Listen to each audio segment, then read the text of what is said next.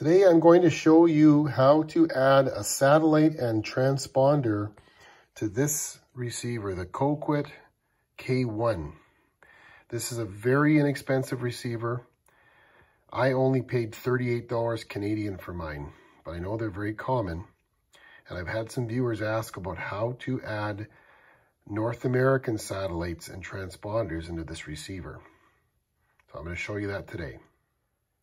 This receiver has uh, lots of satellites preloaded in it for the eastern satellites, which are on the other side of the world. So those aren't any use to us. So if you're going to use this in North America, you're going to have to add your own satellites and transponders in.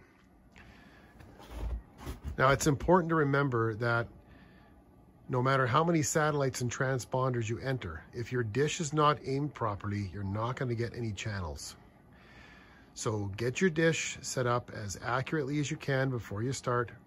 Once you get going, you could always tweak the dish a bit, but it's a lot easier if your dish is aimed properly first.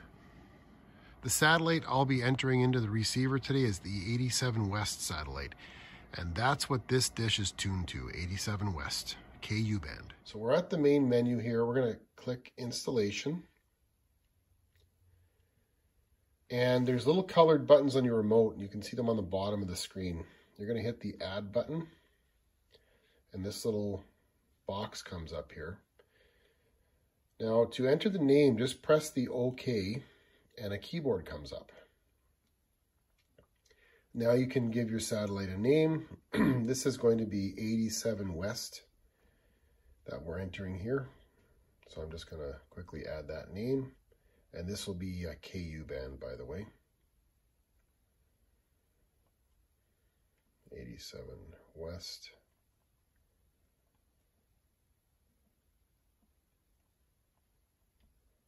KU. All right, then we'll head over to the enter key, push OK, and that saves it. Now we have to enter the longitude of the satellite, so just use the down arrow to move to longitude and use the numbers on the remote to enter this. 0, 8, 7, and then you've got to cycle back around and use the, it's a little bit cumbersome, move up and then back down and then hit the side arrow. I'll show you again. Move up, back down and hit the side arrow to change east or west. So up and then back down, west. And then hit the yellow button to save. Okay, so now we've got our satellite installed. We don't have a transponder installed yet. We need to do a couple more things here. We'll use the right arrow to go into this menu here. Now that LNB is wrong because this is a KU band dish. It's a small dish. 5150 is the correct frequency setting for your LNB for a C-band dish, but we don't have a C-band dish here. We're putting in a KU band LNB. So click the OK button. And the frequency of the LNB I'm using is 10750. Here in North America, the frequencies are going to either be 10750 for a uh, standard LNB. And if you're using a universal, you're going to hit 10600 but I'm using a standard, so mine's going to be 10750. Now, we don't have a transponder. You can see it says no TP here. We're going to add one now. So what we're going to do is uh, hit exit first of all and save this information. Hit exit and then hit yes for save. Okay, now we're going to add a transponder. So I've got 87 West highlighted. We can go ahead and hit the OK button to check mark that. On the bottom of the screen, you can see the uh, colored buttons there. Hit the yellow one, TP, transponder. Now on the left side, you can see there's a list of transponders and there are none. We're going to add one now. Hit the green button on your remote for add. Now, the information for the transponder, you're going to have to look that up. It depends on the satellite you're trying to receive. The transponder information I'm going to enter is for the Florida channel on satellite 87 West KU band. And you can find all this information on Lyngsat or TVROSat. Those are two reliable websites that have all of the satellite and transponder information you need to enter into your receiver. So we're going to enter the frequency here now, and we just have to use the number buttons on the remote. So the frequency for this transponder is 1, 2, 0, 4, 4 megahertz. Now I'll just press the down arrow and go to the symbol rate. The symbol rate of this transponder is 0, 3, 2, 0, 0. Now you have to select, is it a horizontal or vertically polarized transponder? And you'll see when you look up this information, there's an H or a V beside the frequency. And this is a vertical transponder. So now I've got my information set. Now I can go down to save, click OK to save that transponder. Now it's saved. And you saw what happened right away. The signal meter shot up instantly. We're getting 91 signal intensity, 72 quality. That means that my receiver is recognizing that transponder from the dish. And that's why it's important to have your dish aimed as close as you can. Now, if you don't get a signal at first, you might have to go back out and readjust your dish. But you have to have the dish aimed correctly or you won't get a signal. Okay, so now we can hit the menu button and that'll take us back to the satellite list. And here we are back at the satellite list. 87 West is checked off. We're getting a good signal on our transponder. So for this next part, this is something that I need to do on my dish setup. You probably will not need to do this. You can see I've got highlighted here the DiSEqC 1.0 menu. A DiSEqC is a special switch that we can use to bring multiple satellites into one cable to a receiver. I use one of these DiSEqC switches on my dishes because I have more than one dish. You probably don't have that. You won't need to do this. You'll leave this on disable, okay? I have to change mine to port 1 because that's the port on my switch that my receiver has to look for this satellite on. But you're probably going to leave it like this. Okay, so once again, I have to change this to port 1 because I'm using a DiSEqC switch. And if you're interested in learning about DiSEqC switches, I did a video on that. That's available on my channel. Have a look at that. If you're interested in using more than one satellite dish, a DiSEqC switch is for you. But for most people watching this, you're going to leave this on disable because you're probably not using a DiSEqC switch, okay? So I'm going to change mine to port 1.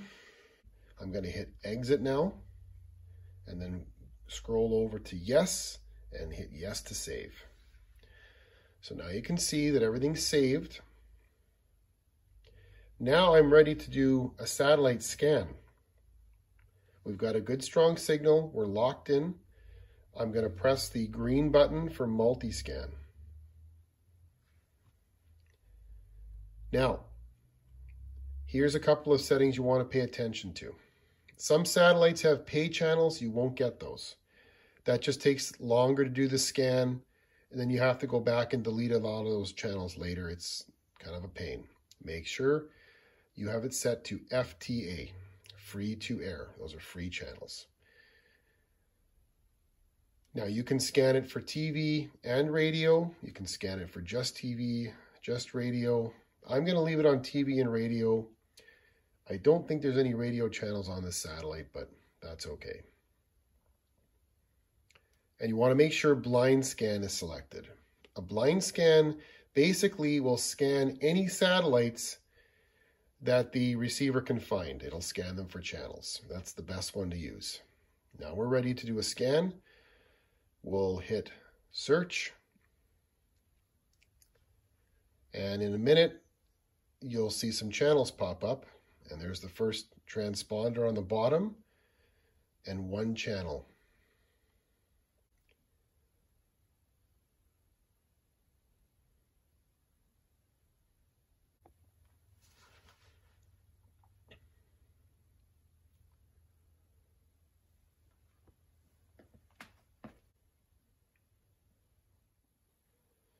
Okay, so here's the channels that we picked up. So this uh, first channel, channel one, I'm not sure what this is actually. It's some kind of a, looks like some kind of a feed or something for a, a football game or something. It could also be a news station uh, that just has a, a live camera on. I'm not really sure. Okay, and then we have the DC channel. Uh, this normally has a camera focused on the White House, but they also have news feeds on here. So they could have random cameras of anything, news, uh, cameras from different cities. I'm going to go into the EPG, the electronic program guide here. This is kind of nice because you can see the name and a small screen of the channel. Okay, next we have the PBS channels. This is PBS Create. This is PBS Kids. This is uh, PBS, although they have kids programming on right now. These channels come from Louisiana Public Broadcasting. So that's one of the uh, one of the hallmarks of uh, channel uh, or satellite 87 West is the free PBS, along with the uh, news feeds. Okay, so here's the shot of the White House. This is what you normally see on the DC channel, unless they have uh, a news reporter um, giving a report. So CNN news source feeds will have kind of spontaneous news coverage. It's all unscripted, unedited, raw footage that uh, needs to be uh, edited and prettied up for the nightly news. Shot of the Capitol building. And these are all the news source feeds here. Okay, and this is, I believe, the New York State Lottery feed. Um, that's the only thing I've ever seen on here. So once in a while, they have lottery drawings on here. This is the Florida channel. And this is all Florida government business on here. They do have some history programs pertaining to Florida as well, though, once in a while. And this is the Florida lottery feed here. So they have drawings every night or every few nights usually. And that is a video on adding a satellite and transponder to the Koqit K1 DVB-S2 FTA satellite receiver.